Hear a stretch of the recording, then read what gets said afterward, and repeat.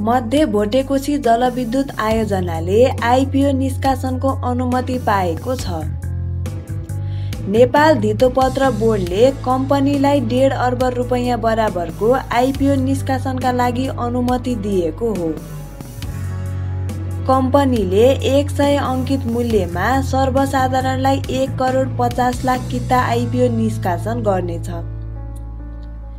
कुल सेयरमा पच्चिस प्रतिशत सर्वसाधारणलाई छुट्याइएको हो। सर्वसाधारणलाई पन्ध्र र प्रभावित जिल्लावासीलाई दस प्रतिशत सेयर दिइनेछ। प्रभावित स्थानीय र सर्वसाधारणका लागि सो परिमाण छुट्याइएको छ। बिक्री प्रबन्धकका रूपमा ग्लोबल आइएमई क्यापिटल नियुक्त भएको छ। आइपिओ भर्ने मध्ये कमैले मात्रै पाएको अवस्थामा यस आयोजनाको आइपिओ भने अधिकांशले पाउने भएका छन्। बोर्डको स्वीकृति पाइसकेको आयोजनाले अबको दुई महिनाभित्र आइपिओ जारी गर्नेछ।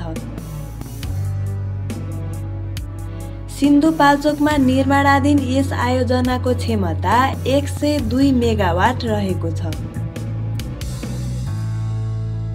आयोजनाबाट वार्षिक उन्साठी करोड युनिट विद्युत बिक्री हुने अनुमान छ। ब्याज सहित पन्ध्र अर्ब रुपियाँ लागत अनुमान गरिएको छ। अनुमानित लागत अनुसार प्रति मेगावाट चौध करोड सत्तरी लाख लाग्नेछ तर समय अवधि लम्बिँदै जाँदा आयोजनाको लागत थप बढ्न सक्नेछ। कुल सेयरमा उन्चास प्रतिशत सेयर सर्वसाधारणलाई र एकाउन्न प्रतिशत संस्थापक समूहको रहनेछ